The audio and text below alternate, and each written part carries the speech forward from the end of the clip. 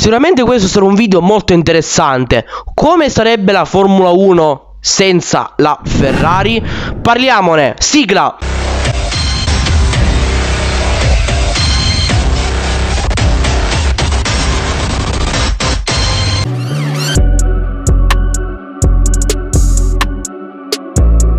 Benvenuti, eccoci qui in questo nuovo video dal vostro FabiGamer90 Oggi torniamo a parlare di Formula 1 E in questo video vi andrò a dire secondo me come sarebbe la Formula 1 se non ci fosse la Ferrari. Prima di partire vi ricordo sempre like, l'iscrizione perché sapete per voi è gratis ma per me è veramente molto molto importante. E dai ragazzi arriviamo ai 500 iscritti Ormai manca veramente poco, non manca molto Mancano, mancano pochi iscritti.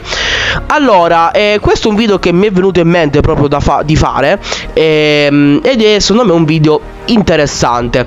Sappiamo eh, la Ferrari è in Formula 1 ormai da una vita, dal 1950 eh, e sappiamo la storia della Ferrari, una, una delle scuderie più dominanti della Formula 1, la scuderia che ha vinto di più in tutta la storia della Formula 1 e, e poi vabbè essendo oltre tifoso e poi di fare un marchio come Ferrari è, è, veramente qualcosa di bellissimo e anche di emozionante se vogliamo dirlo. E purtroppo vabbè gli ultimi anni della Ferrari non sono stati chissà quanto eh, brillanti tra vabbè regolamenti tecnici sicuramente un po' a favore sappiamo di chi purtroppo Ferrari ormai gli manca il titolo più piloti dal 2007 e il titolo costruttori manca dal 2008 e quindi ormai sono passati veramente tanti tanti tanti anni.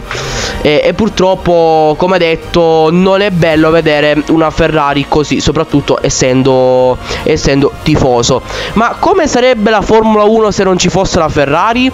Allora se se togliamo la Ferrari proprio eh, facciamo che non avesse debuttato per niente in Formula 1 nel 1950 non avesse mai corso in Formula 1 io credo che eh, se la Ferrari non avesse mai corso in Formula 1 io credo che la Formula 1, quella che conosciamo adesso, non sarebbe la Formula 1 che conosciamo adesso.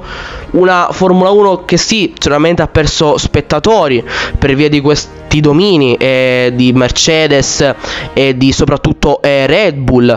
Eh, però io credo che eh, se la Formula 1 è popolare oggi, sicuramente bisogna ringraziare la Ferrari.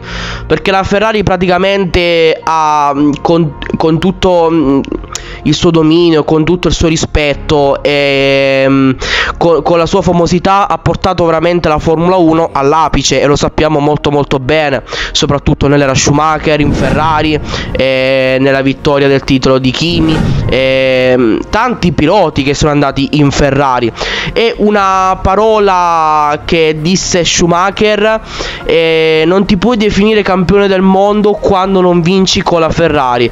E credo che questa sia una, una frase veramente veramente molto molto iconica e, e che una frase veramente bella e, che, che, disse a, ai tempi in cui dominava con la, con la rossa.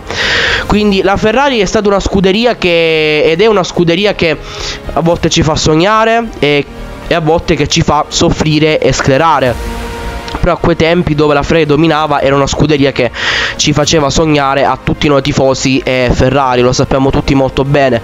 Io credo una cosa che secondo me se non ci fosse mai stata la Ferrari in Formula 1 io credo che la Formula 1 non sarebbe quella che è oggi, non, avre non, av non avrebbe la popolarità che avrebbe oggi e sarebbe uno sport secondo me meno seguito, eh, che non avrebbe tutti questi spettatori.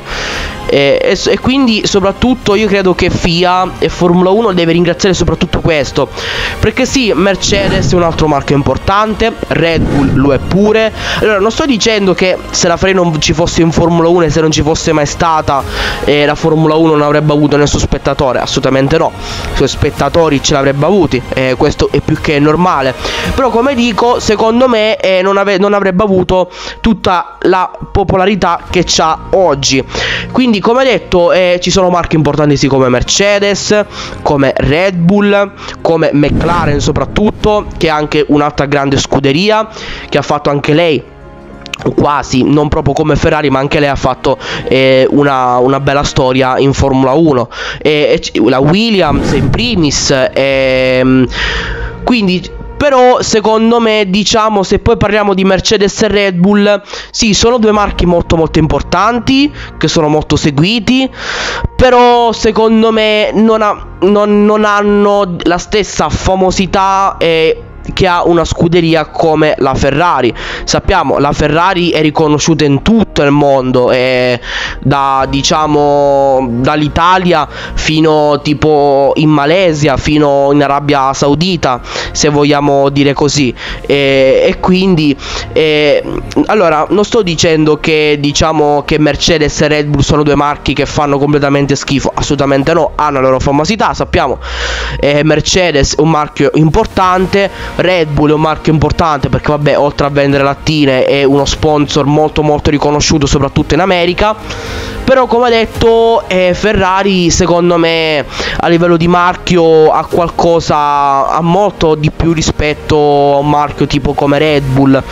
Eh, e quindi ehm, quindi secondo me la Formula 1, se, se, oggi non ci fosse la Ferrari in Formula 1, io credo che la Formula 1 non sarebbe la Formula 1 che conosciamo oggi.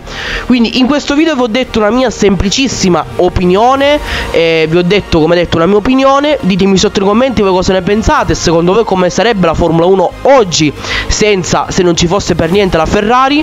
Ricordo il like per continuare a supportare tutti i prossimi video che usciranno su questo canale. Ricordo anche l'iscrizione iscrizione perché sapete per voi è gratis ma per me è veramente molto molto importante. Vi ricordo anche di attivare la campanellina per ricevere le notifiche di tutti i prossimi video che usciranno. E che dire dal vostro FabiGamer90 passo e chiudo